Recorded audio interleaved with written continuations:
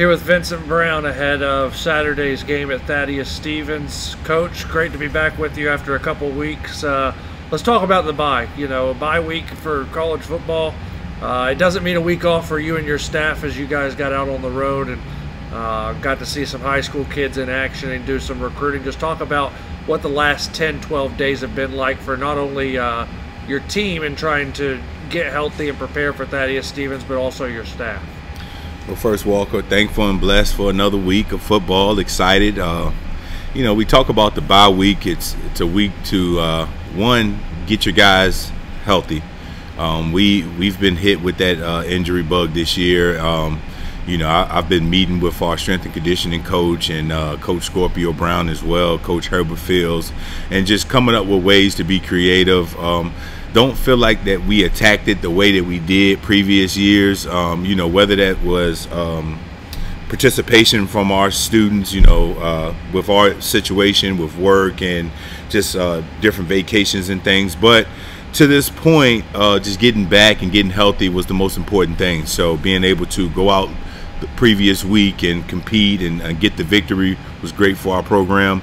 But just really uh, being able to get healthy and then kind of iron out some of the fine details of the schemes that we're trying to to make sure we understand and run with the mix of players now. Um, as Quentin Wallace, we can talk about a little bit. He stepped up, um, giving Mason time, some recovery time, but now he has some logged game time hours, which is important, especially for freshmen.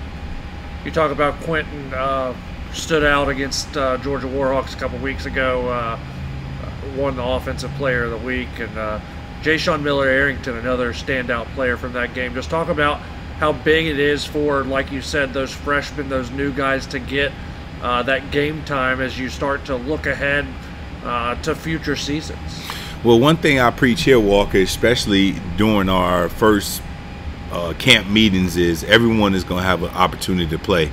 You just have to prepare yourself the right way. You have to be ready you have to know the scheme, uh, know the alignments, know the adjustments, and then when your numbers call, a live in the moment. And that's what I told both of those guys. And you could see their preparation each uh, week in and week out. And so I was extremely proud of both of those young men. And now they're getting better. And now that kind of set the tone for some of our other younger guys who just feel like they have to play the background role. But I told them here and in college football, you always have to be prepared. And so that really helped us getting a lot of guys some game time experience and then moving on into as we transition to this week, uh, which is a tough opponent in Thaddeus Stevens.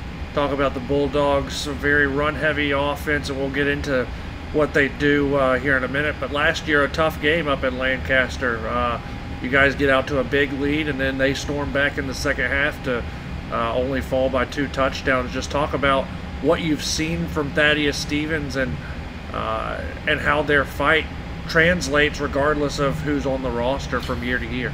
Well, I think Coach runs a great program up there. Um, unique program, similar to what we do, but they concentrate more in the automotive world and uh, being able to help those young men gain careers after being able to play for the seasons they can up there. He's done a tremendous job, um, and and they rebuild every year like we do. So I think it's a great matchup. We know last year they came out physical, you know, and we we got to put into uh, account that we had to travel this week we have to travel the right way. We're going back up there, and then we just our mindset has to be ready to go. We can't afford to start slow like we have in the previous weeks. And I thought we we fixed that the previous week against the War uh, Warhawks. And so I feel comfortable and confident that we're going to go in and our guys are up for the challenge. A lot of guys are missing the excitement of Saturday football, and I, I tell them it's a week for us to get uh, healthy, but also a week for us to go out and show Builder football, which I don't feel like we have shown a complete package of what we're capable of. And hopefully this week we'll get it done. On the defensive side, you guys are going to face a very run-heavy offense. Uh, not like the Washington Lee run-heavy offense, but still a lot of the same uh, the same tendencies and stuff in this Thaddeus Stevens, maybe without the option.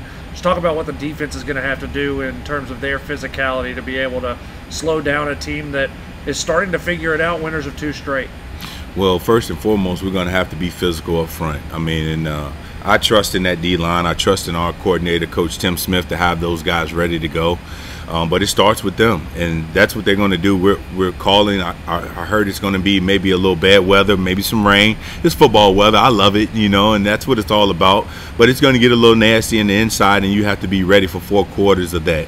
Um, our linebackers have to play well. I know Chase has had a great week of practice. I'm excited to see him play along with Austin Flipping and uh, JT Duprice. You know, those guys have been learning the scheme that we're trying to get done, and uh, I feel confident that we'll go out and play. But I'm I'm confident on the offensive side of the ball as well that we got a lot of pieces back that's healthy. Um, even though we had to make a couple different uh, uh, change ups with the offensive line, but guys are ready to step in and play. But uh, our receiving corps is healthier than it's ever been, and our running back room is healthier than it's ever been. So I look for those guys to have a great, a, a big game running the ball, but uh, as well as catching the short and long balls, you know, and being ready. And Mason's back this week as well, so he's healthy. He's been looking sharp and crisp. So I'm excited for this game. Um, I think it's a testament for us to be able to travel and go play well, and um, I'm I'm looking forward to it. What's your biggest key uh, for builder football to show up for the first time this year, really the first time this year? My number one key, Walker, every week is disciplined football. I want our guys to play discipline, fast, focus, and a lot of effort. Go out there and just be thankful that you're able to play the game of football. Be blessed and go out there and have fun, but play it the right way. Play disciplined, fast, focused football, and I'll live with the outcome. Appreciate the time, Coach. Best of luck this weekend. Always a pleasure. Thank you. Here with Takavion Petty ahead of Saturday's game at Thaddeus Stevens. TK, appreciate the time. Let's talk about how the season's gone for you guys. Maybe not the uh, amount of wins that you guys would like to have, but starting to build, especially after that uh, big win over Georgia Warhawks. Just talk about uh, the state of the locker room right now and how you guys are getting ready for this big matchup on Saturday. Well, right now, I feel like we're starting to buy in more as a team, as an offense, as a defense, special teams. We're all starting to buy in as a complete team, which we needed from the jump from week one. But I feel like I feel like the aroma in the locker room is starting to come together. You know. Wide, the wide receiver room probably as healthy as it has been coming into this game. Just talk about the camaraderie that you guys have built, especially with a lot of these pieces having gone in and out of the lineup, but everybody's still seeming to be, you know, locked in. Yeah, we're we're a tight knit group. We're real close. We talk outside of you know practice all the time. We joke around all the time. But um, I feel like Ricky, you know, Keg, Ernest, them guys from last year, and the freshmen, we got a good freshman group this year. So I feel like they really help, you know, buy in, lock in early to come to that common goal that we want as an offense. Talk about your growth in your time that you've been here as an apprentice. You've been in this program for a number of years now. Just talk about how you've seen yourself grow, not only on the football field, but also out on the shipyard and in your personal life. Um, well, this intern year too, it I feel like it made me grow more into a man. Uh, I I just bought my first apartment at 19, so I feel like um, it helped me manage my money, I guess, money management, you know. And then as far as football, it I guess it helped mold me to the man that I want to be later in life, you know. Biggest key for you guys as an offense going into Saturday's game, what is it? To be dominant, be dominant, punch first, and dominate. Appreciate the time, TK. Yes, sir. Thank you. Here with Chandler Perry ahead of Saturday's game against Thaddeus Stevens. CP, thanks for the time. Let's talk about uh, where you guys are at as a team right now. Two and three, so maybe not the wins and losses that you guys wanted to see at this point, but big win over Georgia Warhawks two weeks ago. Bye week, now headed into the second half of the season. Just talk about where we are as a team. Uh, as a team, uh, you know, trying to focus back in. You know, uh, just try to get back in the win column, man. You know, we're trying to get back over 500. You know, winning out. Um, trying to get to that bowl game, man, with a great mindset. You know, uh, you know, a lot of guys, you know, kind of got a lot of freshmen in here. You know, not really understanding the culture. Really, we're trying to bring those guys in as one and uh, trying to make us a good family. You've been in this program for a number of years. Just talk about how you've seen yourself grow on the football field and also in your personal life throughout this apprenticeship. Right. Um, you know, this apprenticeship, man. Honestly, you know, one of the best things I ever did. Um, you know, as a football player, you know, understand the game a lot faster because this game is way faster than high school. If you're not, if, if you don't watch football, you should watch it. Um, but um, in personal life, man, you know, help me grow as a leader. Um, help, you know, in, at work, you know, being able to talk more. Um, back in the day, I wouldn't be able to do things like this. So, you know, this this program is great, honestly.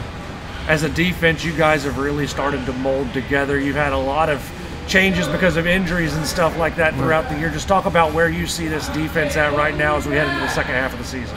Honestly, man, coming in, you know, as, with a whole change of scheme, you know, coming in about two weeks ago, um, guys actually focused in, learning the scheme pretty quickly, uh, wanting to learn the scheme and uh, executing the scheme how coach wants us to execute it. And uh, feel like it's doing pretty well. What's the biggest key for the defense as you guys head up to Lancaster to take on the Bulldogs? Uh, get to the ball, man. Uh, make plays. Uh, we know we're dominant, so uh, long, long as we play our type of football, we'll be able to come up with a win. CP, thanks for the time. Best of luck Saturday. Appreciate you. Here with McKegan Pierkowski ahead of Saturday's game at Thaddeus Stevens. Keg, appreciate the time. Uh, the team, maybe not the wins and losses that you guys wanted at this point of the year, but starting to move in the right direction, especially with that win on a couple Saturdays ago against Georgia Warhawks. Just talk about where you see this team at going into the sixth game of the season in the second half. Uh, all week in practice, we had a great week. You know, everybody's firing, everybody's you know doing their part. Uh, head of the season, I, I see us winning all five games. You know, nobody can stop us. You know, got the best offense you know, here in, in the country. So Wide receiver room, we asked uh, TK about it earlier. You guys are as healthy as you guys have been Yeah. all year. Just talk about that camaraderie that you guys have, even with the injuries that everybody's faced. You guys seem to still be a really tight knit group. yeah, so with the injuries, you know, for beginning of the season, we are short, very short, and uh, now we're all healthy. So we're all buying in. We're all having a good time. Uh, yeah. second year in the program. Uh, talk about how you've seen yourself grow, uh, not, not only on the football field, but also you know out on the shipyard in your personal life as you've gotten into this apprenticeship here at the apprentice school.